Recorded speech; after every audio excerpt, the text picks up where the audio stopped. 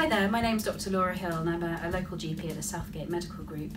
Um, I was really keen to talk today uh, about flu and flu vaccination. There are still some available at GP surgeries. We vaccinate many at-risk groups including children. It's been really the two to four year olds we haven't seen many of this year in the surgeries and they're really vital being young um, to vaccinate properly against uh, influenza.